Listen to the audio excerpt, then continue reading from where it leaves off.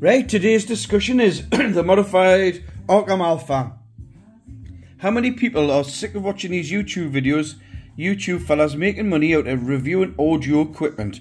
Oh, well, this has got a lovely silky smooth this and a, a lovely sweet treble that, and it's just much better than my Audiolab that with a flabby bass. If your Audiolab's got flabby bass, change your caps, mate. It's over 20 years old. I'll tighten things up, a bit like if you go on a diet, you know, you can get an extra notch on your belt. Ah.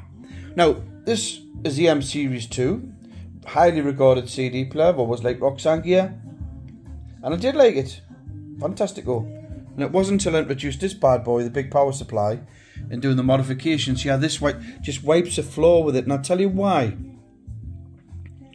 you know, oh, it's not a case of like, oh, loads of more treble, loads of more this, that, and the other, flabby bass, flippy, flappy flu.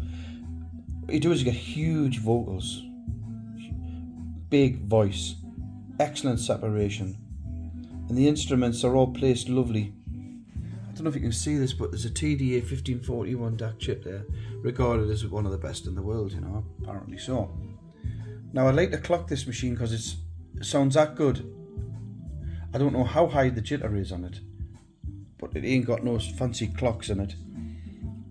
See what it's like when I tried.